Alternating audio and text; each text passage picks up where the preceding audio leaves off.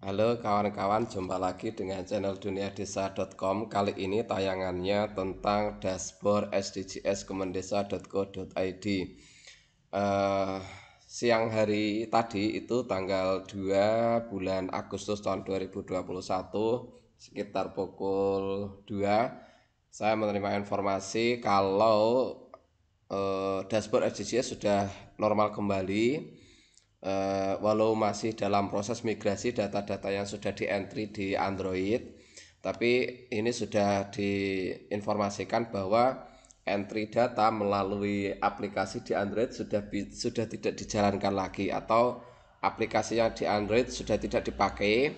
Kalau mau melakukan entryan data melanjutkan entryan data yang belum terupload di Android itu pakai dashboard ini ya web https titik dua garis miring dashboard strip sdgs kemendesa.co.id login.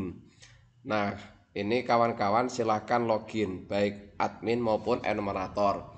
Jika admin silahkan login sesuai dengan eh, nomor handphone dan nick yang sudah pernah didaftarkan.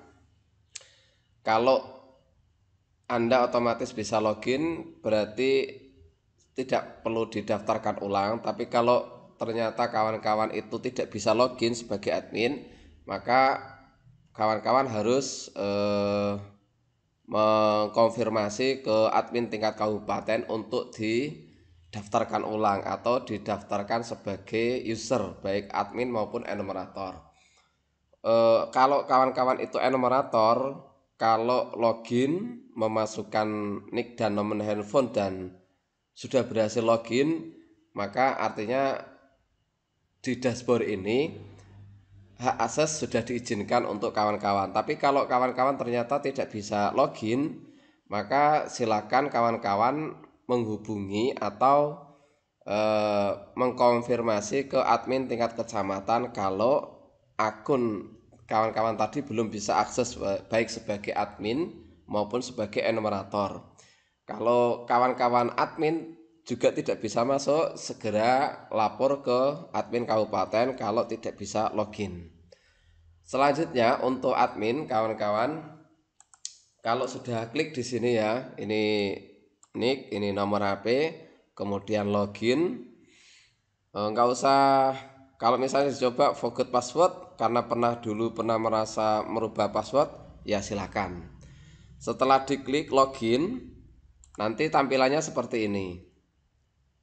Ya, ini dashboard, kemudian ada isian kuesioner, data kuesioner, setting.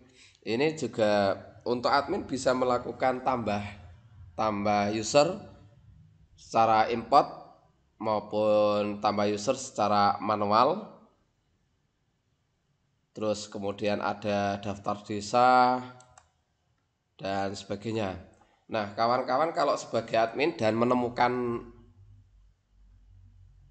enumerator yang tidak sesuai misalnya, contohnya ini, saya menemukan nama Egi Prayogo, alamatnya Brebes, dia tipe user, kemudian provinsinya betul Jawa Tengah, kabupatennya betul Jepara, kecamatannya Kembang, desa Tubanan setelah saya melakukan pemeriksaan ternyata saya itu tidak pernah menerima SK Pokja atas nama Egi Prayogo alamatnya Brebes tapi jadi enumerator di Tubanan. Maka kawan-kawan silakan melakukan delete atau edit.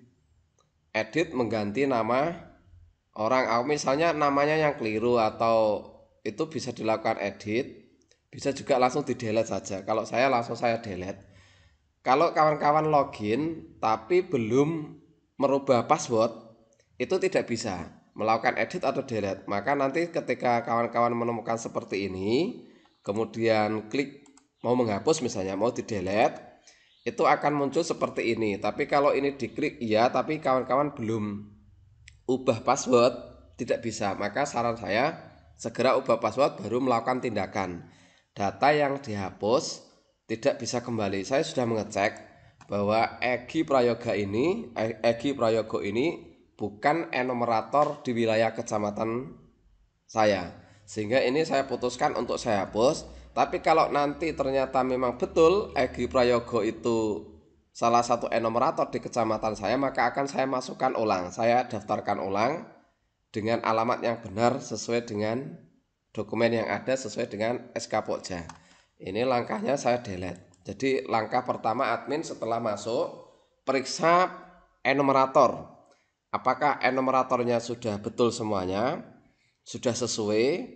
Sudah komplit atau belum? Kalau belum komplit, silakan di entry. Kalau ada kemasukan dari admin atau operator enumerator dari kecamatan lain, dari kabupaten lain, segera dilakukan perbaikan. Ini langsung saja saya delete. Ya, menghapus data oke okay, sukses. Ini akan berproses, jadi sudah hilang. Jadi sudah saya cek sampai ke bawah, yang ada ini hanya enumerator dan admin desa di wilayah kecamatan saya. Selebihnya sudah yang yang salah yang tadi ya misalnya kemasukan dari Brebes itu salah eh, ya dari Brebes tadi salah itu sudah saya hapus. Nah ini kawan-kawan silakan untuk dicoba. Terima kasih yang sudah menyimak tutorial ini. Semoga bermanfaat. Oh ya maaf saya sambung sedikit lagi. Ini tadi nggak tampil ya waktu saya menyebutkan alamatnya https dashboard sdgs kemendesa.co.id kita juga bisa e, melihat tampilan perolehan nasional yang sudah di entry melalui dashboard ini. Jadi ini proses migrasi belum selesai. Yang isian yang sudah di Android itu informasinya akan dimigrasi ke dashboard tapi proses itu tentu memakan waktu. Dan ini yang tampil eh, baru sekian ini angka-angkanya. Hari ini juga masih eh, relatif sedikit yang entah ini diisi melalui dashboard ini entah entah dimigrasi oleh pusat data oleh pusdatin maksudnya. Kita saya belum tahu. Tapi ini eh, di antaranya yang menu baru yang tampil di sini itu sebentar capaian wilayah ini tampilan baru. Jadi admin kecamatan atau kabupaten bisa melihat capaian dari masing-masing desa. Kemudian juga bisa melihat capaian enumerator masing-masing. Jadi siapa yang melakukan entry itu bisa. Contohnya begini. Misalnya di desa Jinggotan itu Ahmad Rois dan Abdul Rosat. Ahmad Rois itu kuesioner keluarga 2, kuesioner individu 9. Kemudian Abdul Rosat capaian kuesioner keluarga 1, capaian kuesioner individu 1. Ini yang eh, tambahan tampilan ya di dashboard SDGs. Jadi kita tahu siapa yang melakukan entry Eh, data survei keluarga dan survei individu ini tambahannya tadi mohon maaf ya tadi nggak kelihatan waktu saya menyebutkan alamat. Ini alamat juga nanti saya taruh di deskripsi. Kalau diperlukan ya silakan tinggal diklik saja. Terima kasih yang sudah menyimak tutorial tayangan ini. Semoga bermanfaat. Yang belum subscribe silahkan subscribe supaya nanti kalau saya upload terbaru otomatis dapat pemberitahuan. Jika tayangan ini bermanfaat silahkan klik jempol dan bagikan ke teman-teman yang lain supaya informasi ini eh, dapat diterima kawan-kawan lain dan bisa segera selesai ya. Terima kasih.